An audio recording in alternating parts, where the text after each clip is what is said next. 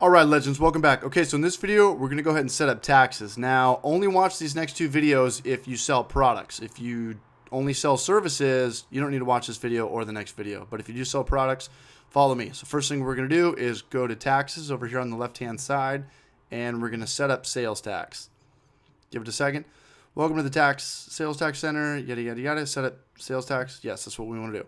Okay, here it kind of gets confusing if you don't know what you're doing. Okay, so single tax rate, correct. We only are selling in our local city. Our tax name, your tax name is your name if you're a sole proprietor. That's what I am. And my agency name, just go by your uh, DBA, doing business as. So mine would be Village Park Source. Now, for the tax rate, could be confusing. You don't want to charge your, your consumers or customers too much or not enough. So how you determine your your tax rate is uh, I go to taxraterates.com forward slash calculator, and I'm just going to copy and paste our office address right into here. Again, taxrates.com forward slash calculator.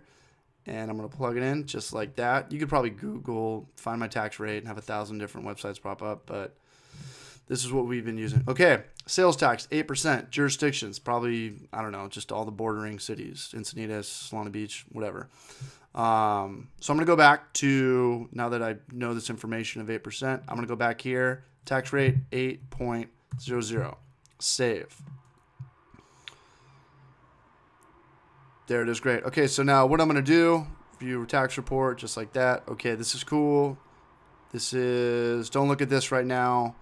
We've set it up. It's in our system. So go back to customers. Go ahead and create a customer if you already have a customer. I'm going to pause this video and create a customer really quick. So I just created a customer called Josh. Uh, Josh's Hot Dogs. Let's go ahead and create an invoice. Include our tax on it now.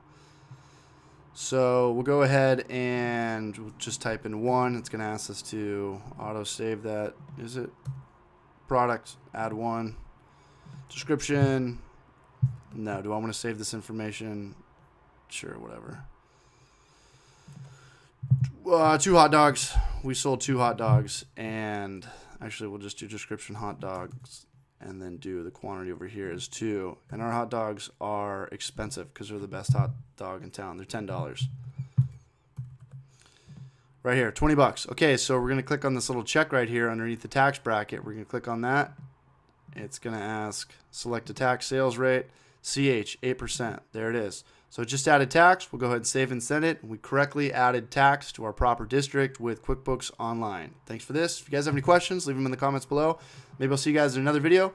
Uh, good luck with this.